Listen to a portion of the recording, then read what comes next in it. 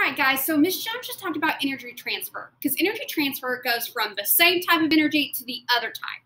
So I'm going to draw, describe energy transformations, and this gives how energy goes from one type of energy to the other.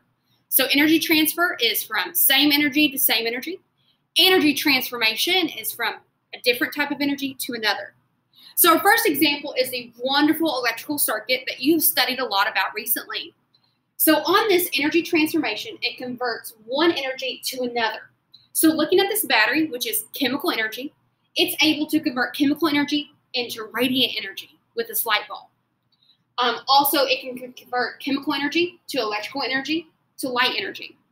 Energy transformations cannot just happen from one to the other. It can go in a series. It doesn't just have to go from one to the other. It can continue to go.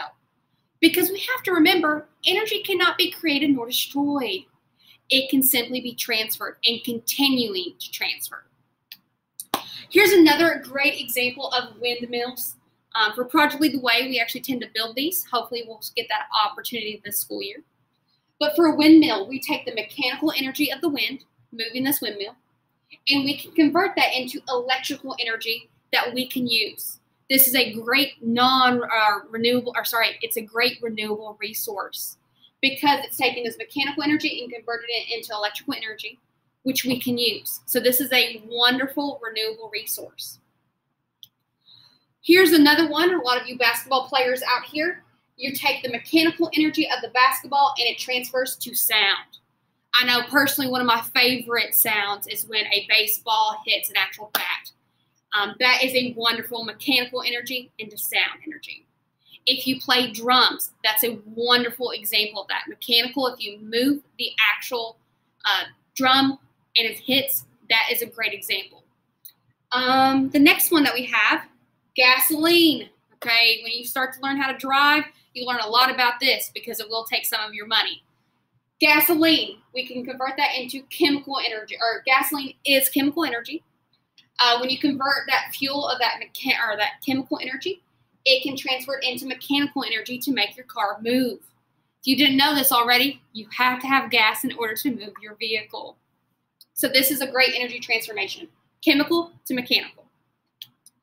Uh, next one, we have several different examples, but we have to realize we take electrical energy and convert it into something else. Electrical energy, we use this a lot in today's society. We use electricity all the time that helps us do wonderful things. So we take electrical energy with a boombox, convert it into sound. Um, you can also take electrical energy, convert it into light when we turn on the lights. Uh, you can convert electrical energy into mechanical energy for a fan. I know that's very lovely when it's warm outside. And also, you can convert chemical energy into toast or into thermal energy when you cook toast.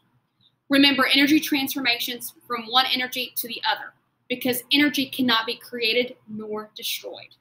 The next few we or the end of this week and next week, you're really going to be focusing on energy transformations and energy transfer. Remember, energy transfer is from one type of energy to the same type of energy, and energy transformations from one energy to the other. These exist because of the law of conservation of energy. Energy cannot be created nor destroyed, but it can be transferred. Guys, you all have a wonderful day.